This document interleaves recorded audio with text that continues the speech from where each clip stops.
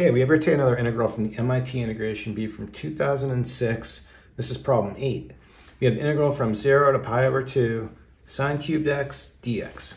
Okay, I think I just want to do some straightforward things on this and we'll take sine cubed here. I'm actually just going to split this up. I can write this as sine squared x times sine of x. And then by doing that, I can use the identity on sine squared x. I can rewrite this as 1 minus cosine squared x, and we'll have this all times sine x. And then from here, what I'll do is just rewrite the integral. So rewriting everything, we're gonna have, we're still going from zero to pi over two, we'll bring down one minus cosine squared x, and then here I'm gonna have sine x dx. But now I think we're in really good shape for a u substitution because I have cosine here and we have sine dx here, and that's gonna work out pretty well. So when I do this, let's see, we'll have for my u, I'm going to do u equal to cosine of x, take a derivative, so du is going to be just minus sine x dx.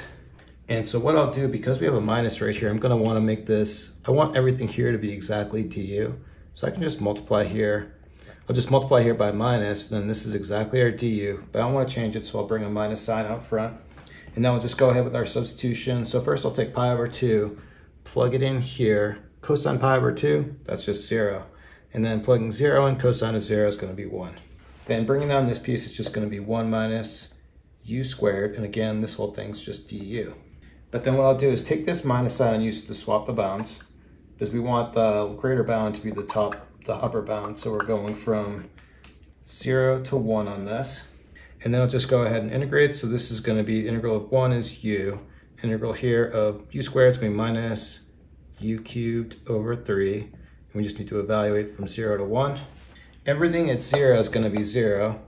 So what we'll do is we'll just plug in 1 here, and we get 1 minus 1 cubed, which is just 1 over 3. 1 minus the third gives me my final solution of just 2 over 3.